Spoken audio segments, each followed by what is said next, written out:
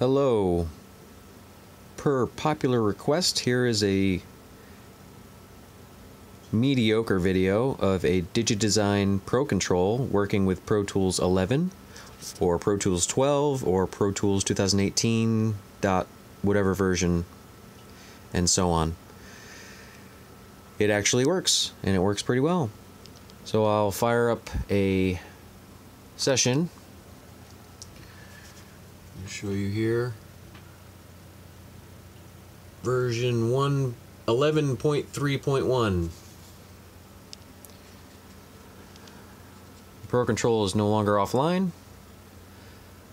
I'm not using new Pro Tools versions because I don't like subscriptions. I paid for this and it works fine.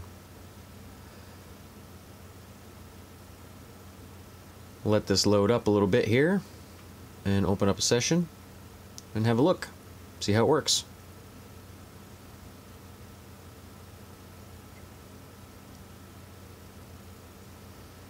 All right.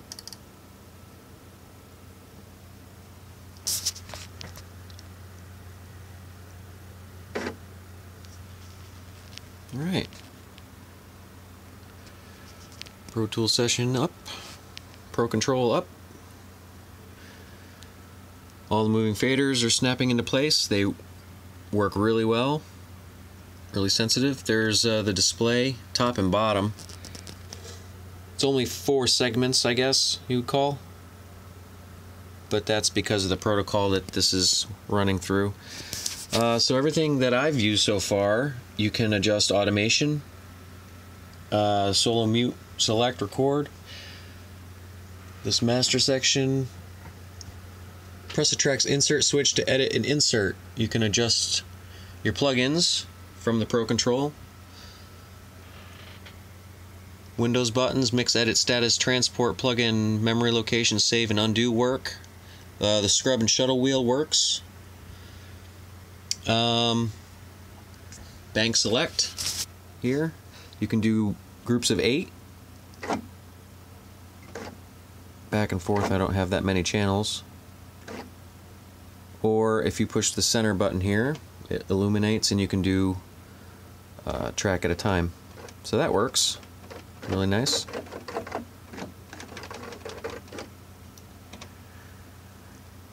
Uh, what did I say? Automation, push and hold the button, you can change write, touch, latch. All from the Pro Control. Blurry video, handheld, cell phone crap. Pans work. My encoders are a little shaky. That's okay. Push the pan button, you can uh, adjust the right side of a stereo channel. Flip. I got a auxiliary channel here. Working like very nice feeling faders. Fortunately, I know how to fix these things. I know it's a big problem. People don't like to use these anymore because the faders are broken, but they're not really broken if you know what to do. So, uh, response time. People were wondering about the response, so I'm going to hit play uh, here.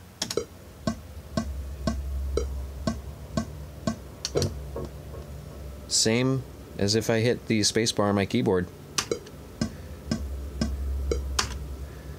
No delay there. Perfect. The mouse here doesn't work. That doesn't do anything. Um, edit mode, shuffle, slip, spot, and grid. They all work.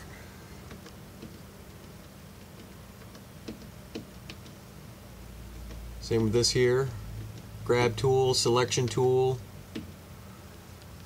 There aren't corresponding LEDs that light up here when you do that, but that's okay. Um, part of this transport, loop record, loop playback, quick punch, they all work with illumination on the buttons. I guess loop record doesn't work. Uh, yeah, so there you have it.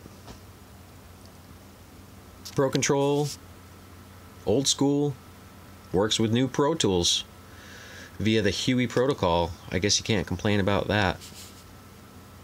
Pick them up while they're cheap.